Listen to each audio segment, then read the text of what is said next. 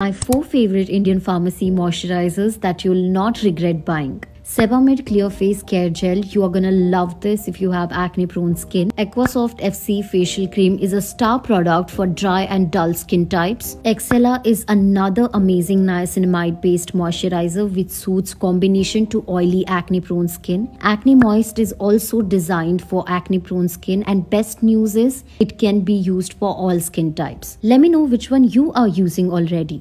Follow for more. Bye.